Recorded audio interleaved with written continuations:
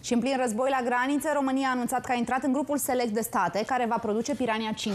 Da, e un transportor blindat care va fi produs la uzina mecanică București. Dacă totul decurge bine, țara noastră va deveni și exportator uh, de tehnică militară de ultimă generație. Blindatele Pirania 5 sunt menite să protejeze trupele, inclusiv de radiații. Le-am văzut la 1 decembrie la, la uh, paradă. paradă.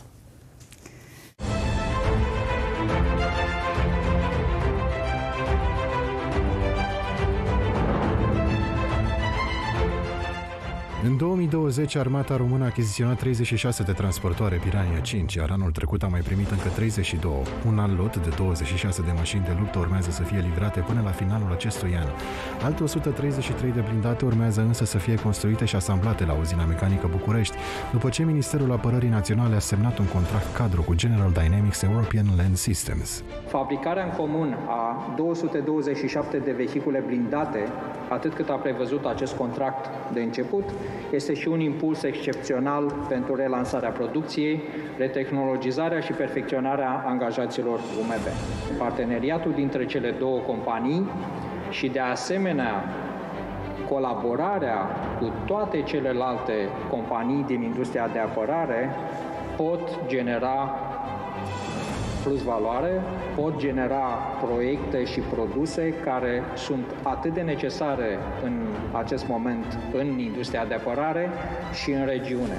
Pirania 5 este unul dintre cele mai avansate vehicule blindate 8 ori 8 pe roți și gama de top a familiei de vehicule Pirania. Într-un astfel de blindat pot încăpea până la 10 persoane. Transportorul are capacitate de 600 de cai putere și poate merge până la 500 de km cu un singur plin. De asemenea, atinge viteza maximă de 100 de km pe oră.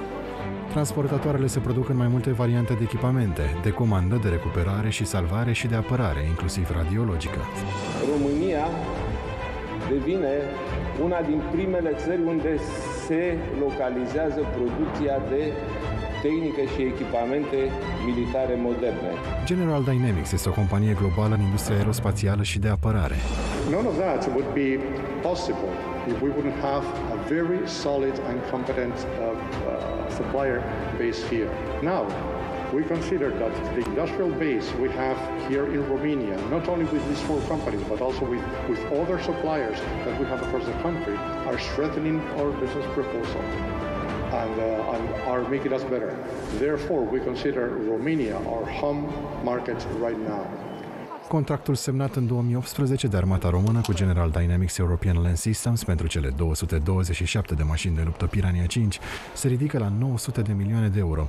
Aceste blindate mai sunt folosite de forțele armate din țări precum Danemarca, Elveția sau Spania.